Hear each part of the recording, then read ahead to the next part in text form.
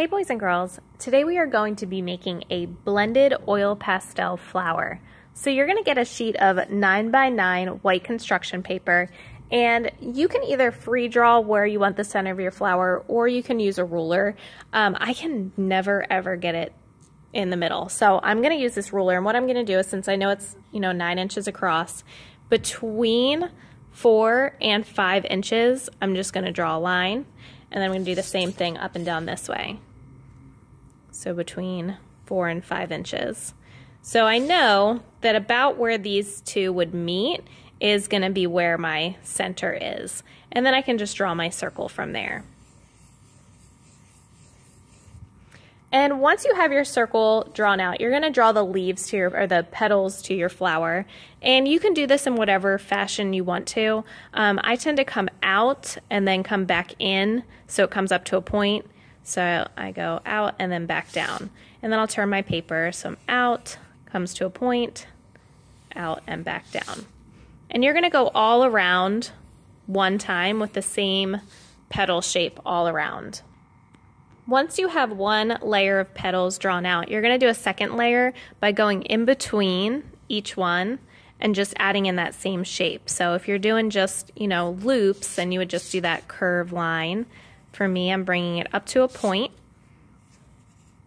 and I'm going to fill in in between each one of these petals.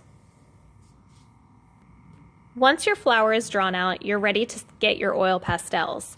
So what I'm going to do is actually just erase this line that I have in the center and I'm going to erase a little bit of my lines in the middle here um, so that way they don't show through I do want the petals to show up because I'm going to be tracing them, but here I don't really want it to show through. So you're going to decide whether or not you're going to be making your flower with warm or cool colors. I'm going to do mine with warm colors, which means the center of my flower is going to be with cool colors, and the outside around my flower is also going to be with cool colors to help the flowers stand out.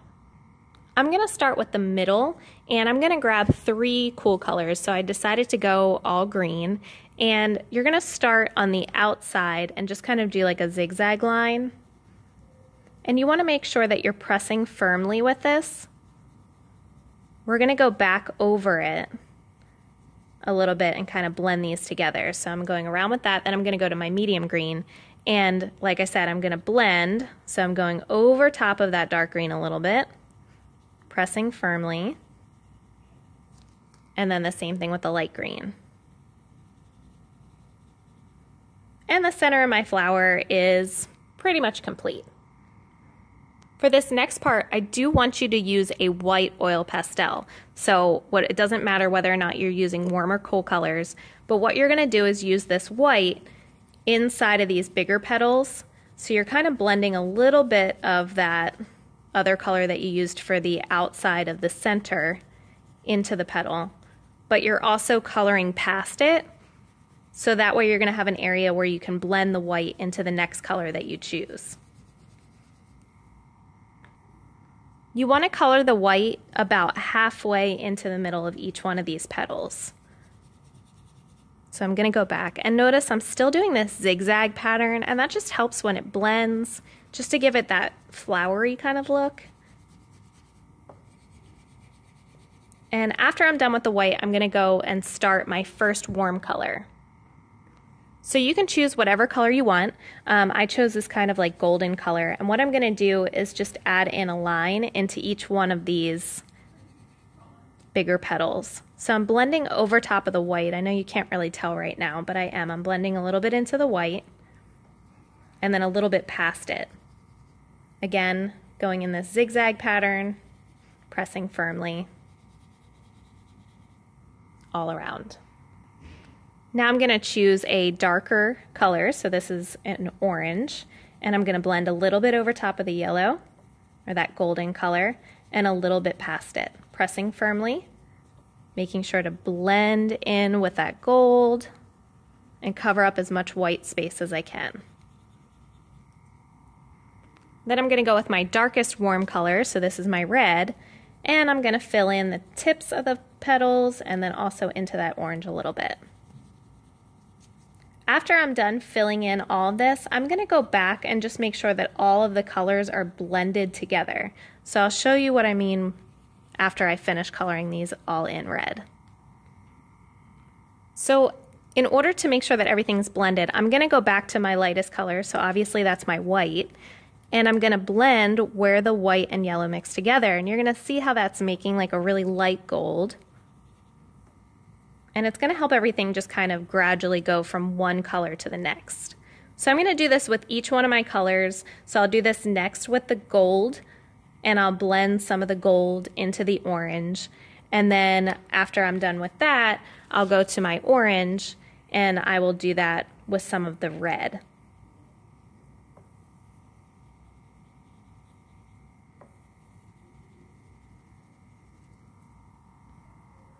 So I've finished all the gold and now I've started a little bit some of the orange into the red.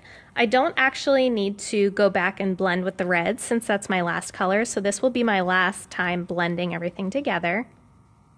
And then once I'm done with this, I'm gonna start on my second set of petals. So I'm gonna go back to the white and I'm gonna add a little bit of white right to about the middle. So these are gonna be a little bit shorter in the length of the different colors that I'm using. But I'm gonna add in that white on every one.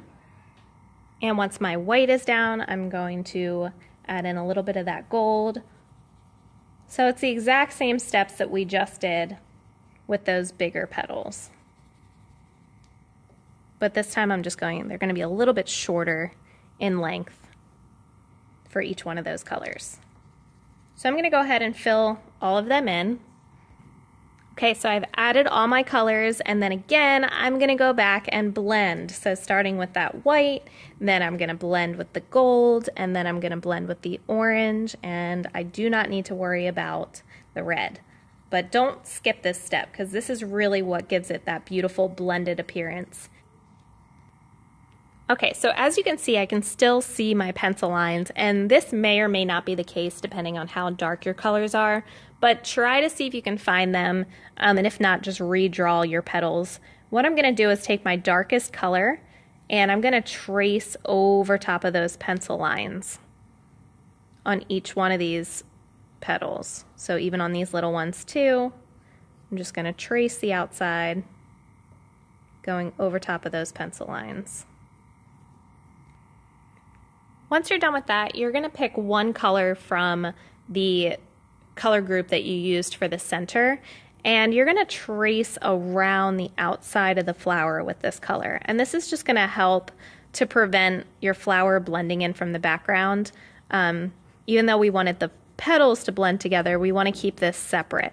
So I'm going to go around kind of carefully trying not to color over top of the lines I already did and blend them together. I want to keep them separate here and give myself a little bit of space for when I add in my background so everything's not blending together.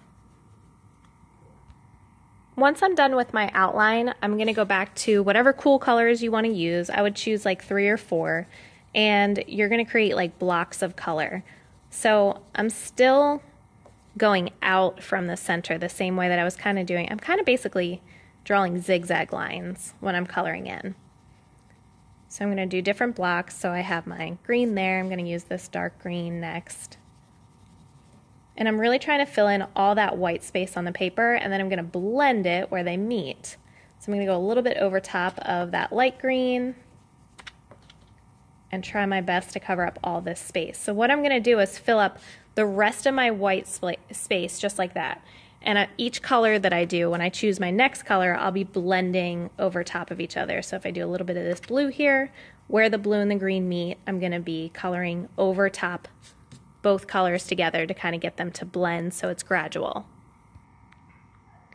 All right, so I finished filling in my background.